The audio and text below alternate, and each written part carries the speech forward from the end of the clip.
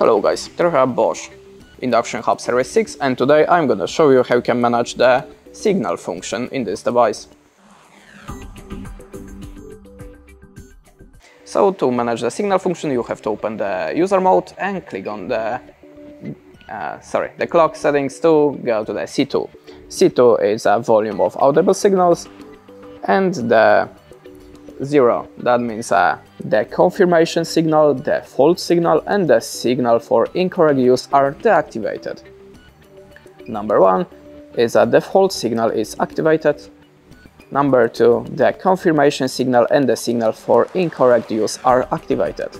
Number 3, all signals tone are switched on. And that's it. Thanks for watching, leave us a like, recommend and goodbye.